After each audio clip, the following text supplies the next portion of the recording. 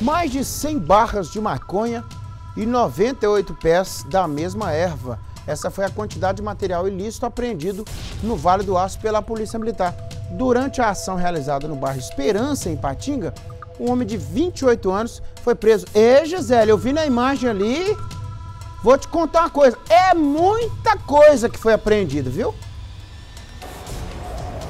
Muita coisa, Nico, e isso tudo foi por meio de denúncias anônimas que a Polícia Militar conseguiu chegar a essa plantação de maconha no bairro Nova Esperança, aqui em Patinga. Todas, a, toda essa plantação estava dentro de um imóvel incômodo, olha só, climatizado, praticamente um laboratório todo muito bem estruturado, com luz para para iluminar, né, para eh, gerar energia para estas plantas climatizado, então era verdadeiramente um laboratório que foi desmantelado pela Polícia Militar é, nesta quarta-feira. E olha só, o, Nico, é, o Tenente Lindomar, ele gravou um vídeo para gente e traz mais detalhes desta ocorrência. Vamos ouvi-lo.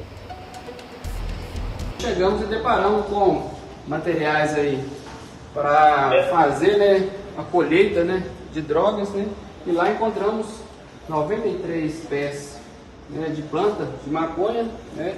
Alguns pés aí já em fase né, de, de colheita, né, secagem, adubo, né, diversos utensílios né, eletrônicos aí. É, montaram algumas, duas estufas né, dentro da residência, né, alguns pacotes aí já com a droga colhida né, e e acondicionada, pronto para o comércio.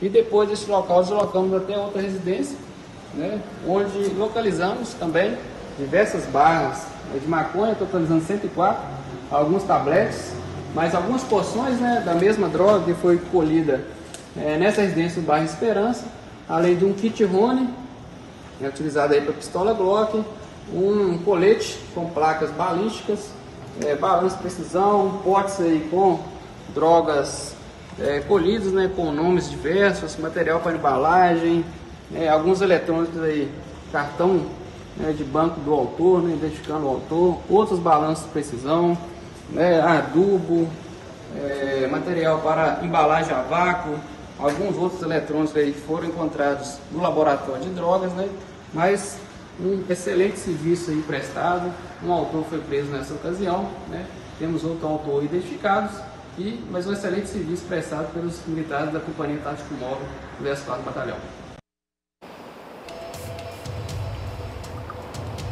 Ouvimos o tenente Lindomar falando desta grande operação realizada pela Polícia Militar na noite desta quarta-feira. É, todo esse material foi encaminhado para a Delegacia de Polícia Civil daqui de Patinga.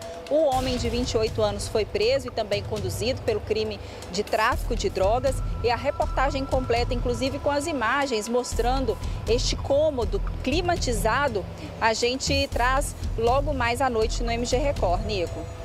É, Gisele, é muita coisa, muita coisa mesmo. Mas que apreensão bruta, hein? É muita coisa que foi tirada de circulação aí. Laboratório de plantação de maconha, espia só. É, Ipatinga, ninguém aguenta isso não.